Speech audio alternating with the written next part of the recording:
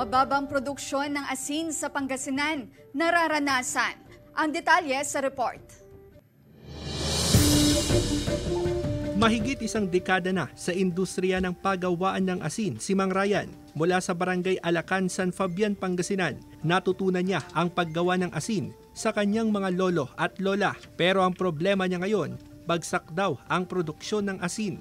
Mula sa dalawang daang sako ng asin na nagagawa nila kada linggo noong Hunyo, umaabot na lang ito ngayon sa isang daang sako.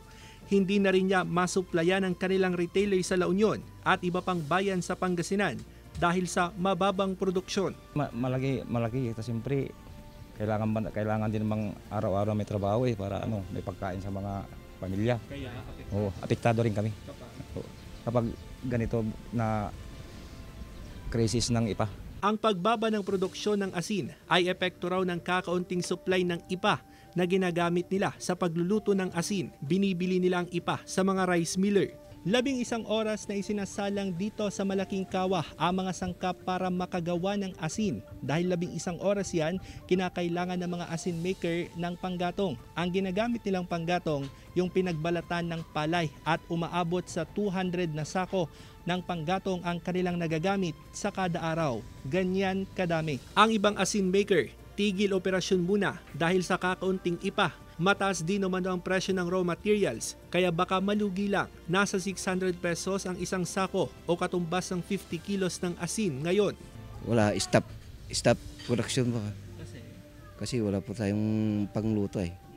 Maraming tumatawag po sa amin sir, wala, hindi, hindi kami makadeliver.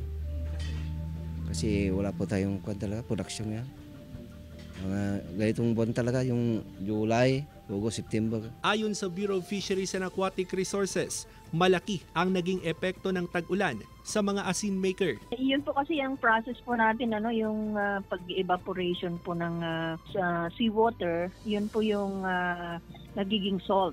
Kaya pag ah, pag tag-ulan, hindi sila makapag-evaporate. Although ah, yung iba naman niluluto, niluluto naman yon. Nauna nang sinabi ng Department of Agriculture na may kakulangan ng asin sa bansa kaya tuloy-tuloy ang importasyon. Kasama si Henry Domisil, Russell Simorio, Balitang Amyanan.